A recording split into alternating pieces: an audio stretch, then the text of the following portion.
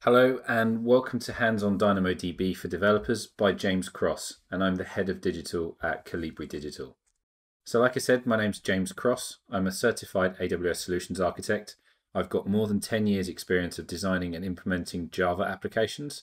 And really, in the past five years, I've been focusing on cloud native applications, particularly serverless. And I've got a speciality in, in serverless web services and big data applications, particularly on the AWS cloud. So, rest assured, you're in good hands. So let's jump in and have a look at what we're going to cover in this course. So what are we going to learn? Well, we're going to start with a good understanding of the data model of DynamoDB and compare NoSQL, document stores, and traditional relational applications. Next, we're going to work together to build a simple DynamoDB powered application. We're then going to move on to build a more complicated application and use that as a way to understand query fundamentals, the query DSL, of DynamoDB and the difference between queries, scans, and indexes. Look at how we can scale out DynamoDB to build hyperscale web applications.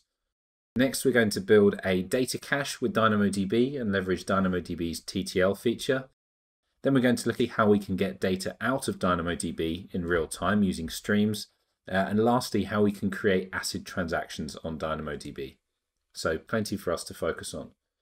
Now, some basic programming knowledge is assumed, I'm not going to teach you how to code in this course, but if you've programmed in any high level programming language, you won't have any trouble following along. In terms of prerequisites, well, really, like I said, some level of prior experience in a high level programming language, and of course, you're going to need a computer. And if you want to follow the code examples and actually build stuff yourself, you're going to need an AWS free tier account and obviously a connection to the internet. And you'll also want to install the AWS CLI on your computer and you're going to want to install Visual Studio Code or some other equivalent text editor. So what are our goals for the course? Well, hopefully by the time you've watched this course, you'll come away with a good understanding of NoSQL and how it differs to a traditional data model. Hopefully you'll understand how DynamoDB helps us to build cloud scale, hyperscale applications for the web. We're going to put the fundamentals of DynamoDB into practice.